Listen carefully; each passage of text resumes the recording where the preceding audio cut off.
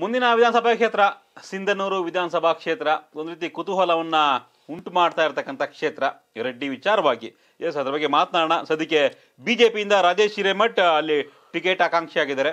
ಅಲ್ಲಿ at present J D ಎಸ್ನ Venkatarao Nadagouda J D S M L A ಅವ್ರಿಗೆ ticket ಆಗುತ್ತೆ. Ticket announce ಆಗಿದೆ ಅವರಿಗೆ. ಸೊ ಅವರೇ ಸಿಟ್ಟಿಂಗ್ ಎಂ ಎಲ್ ಎ ಆಗಿರೋದ್ರಿಂದ ಜೆ ಡಿ ಎಸ್ನಿಂದ ಅವರೇ ಅಭ್ಯರ್ಥಿ ಆಗ್ತಾ ಇದ್ದಾರೆ. ಬಿ ಜೆ ಪಿಯಿಂದ ರಾಜೇಶ್ ಹಿರೇಮಠ್ ಟಿಕೆಟ್ ಆಕಾಂಕ್ಷಿ ಆಗಿದ್ದಾರೆ ರಾಜೇಶ್ ಹಿರೇಮಠ್ ರೆಡ್ಡಿ ಜೊತೆ ತುಂಬಾ ಒಡನಾಟವನ್ನ ಹೊಂದ್ಕೊಂಡಿದ್ದಾರೆ. ಅವ್ರ ಜೊತೆ ಓಡಾಡ್ತಿದ್ದಾರೆ ಆಗಾಗ. ಸೊ ಕಾಣಿಸ್ಕೊಳ್ತಾರೆ ಈಗ ಅವ್ರು ರೆಡ್ಡಿ ಪಾರ್ಟಿಯಿಂದ ನಿಲ್ಬಹುದು ಜೋರಾಗಿ. ಸೊ ಹಾಗಾಗಿ ಈ ಕ್ಷಣಕ್ಕೆ ಬಿಜೆಪಿ ಅಭ್ಯರ್ಥಿ ಅಂತ ಗೊತ್ತಾಗ್ತಿದ್ರು ಕೂಡ ಕನ್ಫರ್ಮ್ ಆಗಿಲ್ಲ.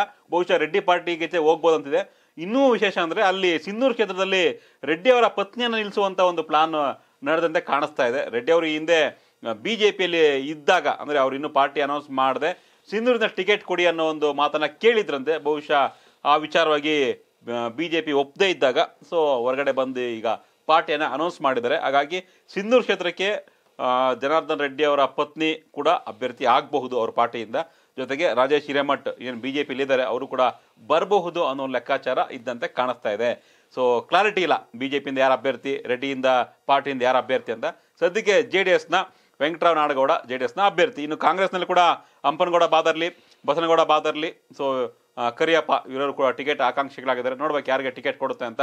ನಮ್ಮ ಕರ್ನಾಟಕ ಟಿವಿಯ ಡಿಸೆಂಬರ್ ಸರ್ವೆ ಪ್ರಕಾರ ಸಿಂಧೂರು ವಿಧಾನಸಭಾ ಕ್ಷೇತ್ರದಲ್ಲಿ sitting M L A Venkatarao Nadagouda ಅವರು ಜೆ ಡಿ ಎಸ್ನ ವೆಂಕಟರಾವ್ ನಾಡಗೌಡ ಅವರು ಮುನ್ನಡೆಯನ್ನ ಸಾಧಿಸಿದ್ದಾರೆ. ಒಂದು ಬಿ ಜೆ ಪಿಯಿಂದ ಅಭ್ಯರ್ಥಿ ಯಾರು ಅಂತ ಸ್ಪಷ್ಟನೆ ಇಲ್ಲ.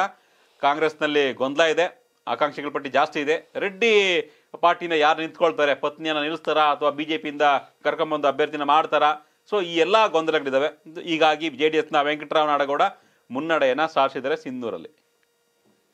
ಮನೆ ಮಂದಿಯೆಲ್ಲ ಪ್ರತಿದಿನ ಜಿನಿ ಮೊಳಕೆ ಕಟ್ಟಿದ ಕಾಳಿನ ಪೌಡರ್ ಆಹಾರ ಸೇವಿಸಿ ಡಬಲ್ ಎನರ್ಜಿ ಪಡೆಯಿರಿ. ಯಾಕಂದ್ರೆ ಮೊಳಕೆ ಕಟ್ಟಿದ ಕಾಳಿನ ಆಹಾರ ದೇಹಕ್ಕೆ ಹಂಡ್ರೆಡ್ ಪರ್ಸೆಂಟ್ ಪೋಷಕಾಂಶ ಒದಗಿಸುತ್ತೆ.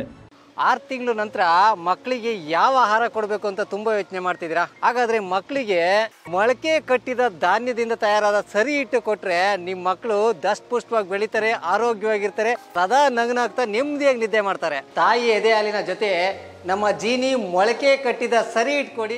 ಮಕ್ಕಳಿಗೆ ಹಂಡ್ರೆಡ್ ಪರ್ಸೆಂಟ್ ಸರಿಯಾದ ಆಹಾರ ಅಂದ್ರೆ ಜೀನಿ ಸರಿ ಇಟ್ಟು ಮಾತ್ರ. ಎಲ್ಲಾ ಮೆಡಿಕಲ್ ಶಾಪ್ಗಳಲ್ಲಿ ಜೀನಿ ಸರಿ ಇಟ್ಟು ಲಭ್ಯ.